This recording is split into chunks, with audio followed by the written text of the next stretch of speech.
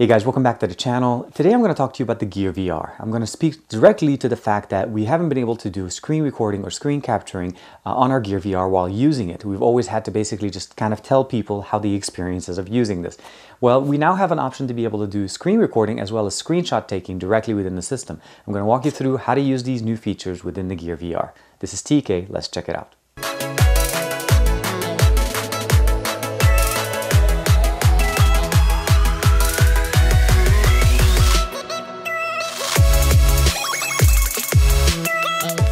The requirements right out of the box. Of course, you have to have a Gear VR. You have to have a capable device that's able to run with it. I'm using it with the Galaxy S7 Edge.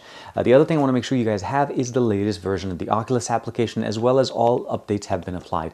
Now, today is May 24th, 2016, so any updates up to this point, as long as you have them installed on your system, you should be able to get into this and actually use it.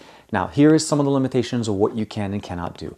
Currently, in the current setup, it doesn't do audio, it only does video, but the that's not a big problem because most of the time when you're doing gameplay or if let's say you're doing screen capturing, you're going to overlay it similar to the way I'm doing it for you right now. Um, you get to see what the experience is inside. You can actually move your head and see how it works. Now, as far as mechanics and how to get it set up, um, of course, first thing we're going to do, open up your Gear VR and get your device. Now, if you have a case on your device, make sure you take it off as it's not going to work. So take off the case and unlock the device. Once you have your device in the actual uh, Gear VR, there is a back button here. So this is the interface that gets us into the setup or the settings options that we get within the Gear VR. Um, I'm going to go ahead and go into the actual unit itself. I'm going to just put it on and use it and just kind of explain to you the process and then I'm going to overlay the video as I get there. Uh, the, there's two options. There's screen capturing, which essentially is video recording, and then unfortunately it's limited to a 4 by 3 aspect ratio, so you may be looking at this and saying, oh my god, why is it like this? It's a 4 by 3 aspect ratio. You can set it up within your editor to go to 16 by 9, but it's the native and I'm going to keep it in the native format. Um, and as far as screen capturing, it has basically kind of like a 5 second delay where it just shows up. And it, it, entirety of the process, whenever you're using it, there is a red dot on the top right of your screen. And if you see the red dot, that means it's recording. Um, unfortunately, this is again part of the limitations. Uh, when you're in it, you don't have the ability of using it within certain applications. Not some you can and some you can't. And if it's supported by the developer, it will allow you. So I'll go ahead and go into the system itself. We'll mount it on.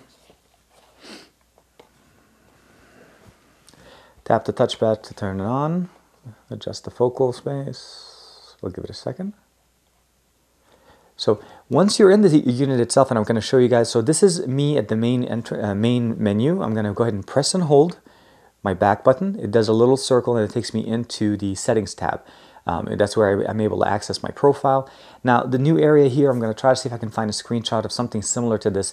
But the new options now on the middle section shows you your profile card. You have the offline status, the time of the day.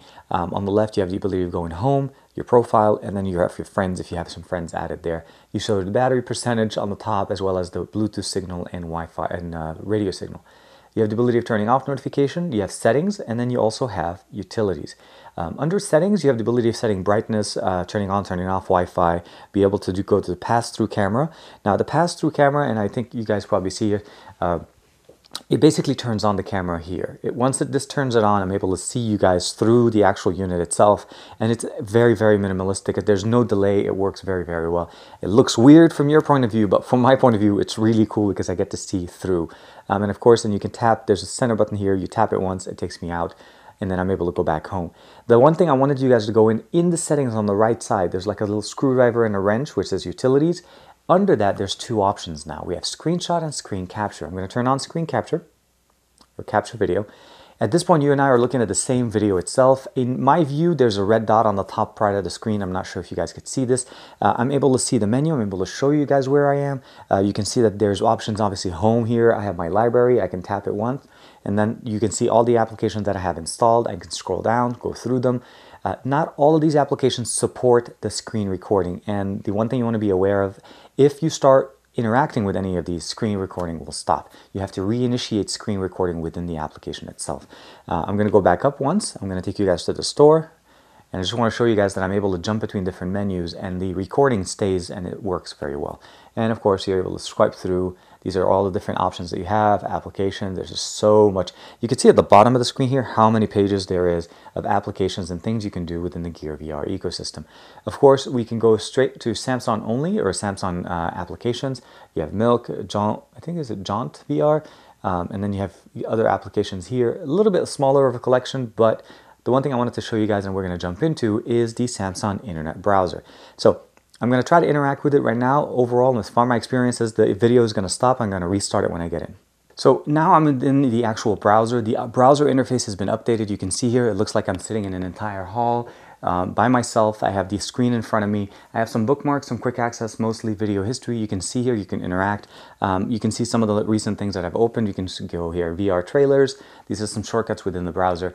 And the good thing about this browser is that you have the ability of basically launching some of the desktop applications that you normally have, like setting up gaze settings, open source licensing, default, or even requesting desktop version of an application. Now I'm in my gallery. This is uh, basically a virtual version of my gallery itself. I can go into, let's say, the Instagram folder. It populates populates the pictures of everything that I have in here. I'm able to select these pictures and then you can see that they're in full screen. This entire time I have a red dot on the top part of my screen.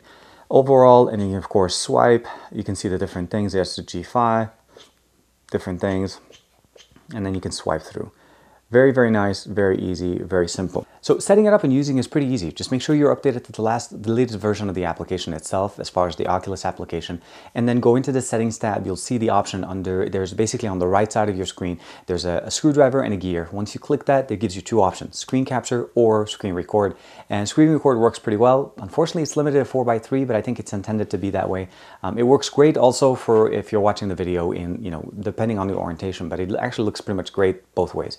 Um, I want to keep in mind uh, there is no audio. For some reason or another, it doesn't record audio at all. I've tried using other applications again. I've hoped maybe that now that this one works, maybe others will be. It doesn't work, unfortunately. Something to do with when the system is booting up, it shuts every other service running in the background for it to start and take over the device. It's almost like an entire different launcher or system launches to be able to run. So hopefully we'll have more functionalities and more support now that we have some functionalities to be able to record. Um, and hopefully this was very useful for you guys. Uh, let me know in the comments below. Are you using your GVR? Are you enjoying it? I like it. I play with it. Uh, I try to keep uh, in touch with some of the new applications. Some of the apps are expensive, but uh, some of them are well worth it. So let me know in the comments below what you guys think. Like and subscribe as usual. Thank you very much for the support and I will see you guys in the next one. This is the LG G5. It's here. I finally have it from T-Mobile. I did a pre-order and a front-facing camera. Fingerprint sensor is on the bottom. And again, this isn't a button. It's